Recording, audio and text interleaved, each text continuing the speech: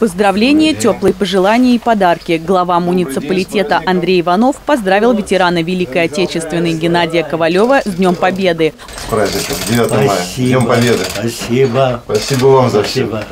У 96-летнего участника войны осталось много воспоминаний об операциях на фронте. Главная задача моя была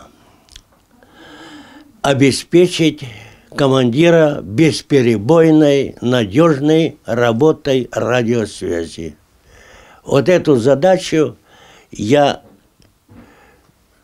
за время пребывания на фронте и выполнял.